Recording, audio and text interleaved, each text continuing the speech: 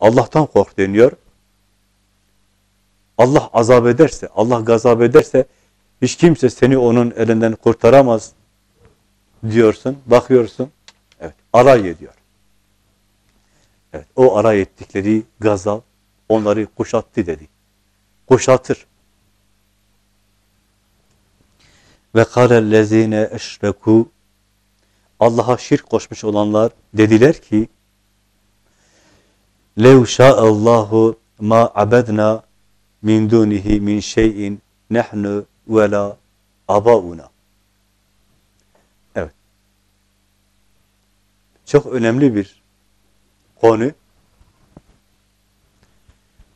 Allah şirk koşanlar diyor. Şirk koşanlar dediler ki Allah dileseydi biz ve atalarımız ondan başka bir şeye abd olmazdık.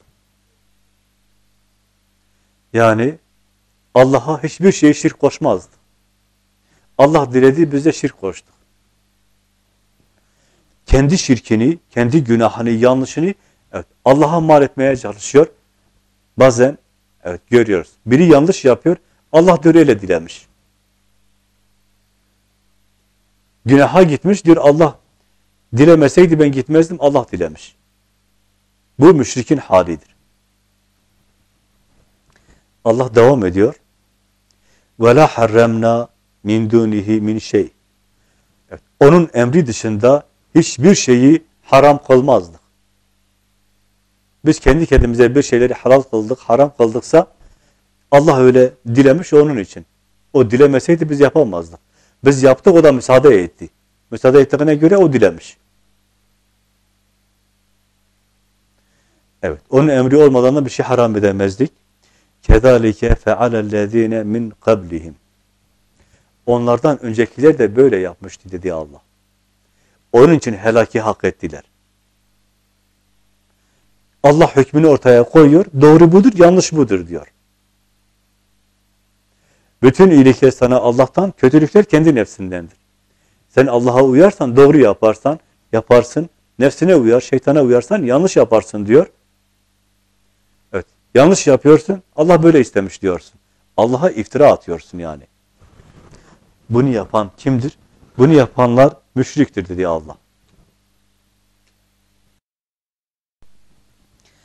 Mesela biri birini öldürüyor. Ne diyor? Takdir işte diyor. Takdir böyleydi.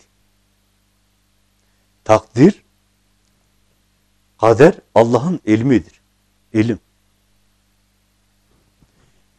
Takdir, takdirin kaza üzerinde hiçbir etkisi yoktur.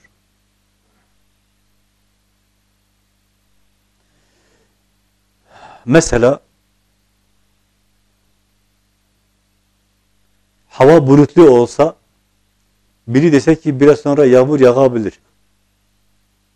Yağar. Ya da meteoroloji söylüyor yağar diyor. Örnek veriyorum. Biraz sonra yağmur yağdı. Yağmuru o adam mı yağdırdı? O sadece tahmin etti, bildi. Bu insanın tak tahmini. Bir de Allah'ın ilmi vardır. Yani insan bilmez. Mutlak bilmek Allah'a aittir. İnsan tahmin eder, tahmin yürütür. Çünkü her an Allah onu değiştirebilir. Allah bir şeyi biliyor. Nereden biliyor? Senin ne yapacağını biliyor da ondan. Mesela bir saat sonra biz ne yapacağımızı bilmiyoruz.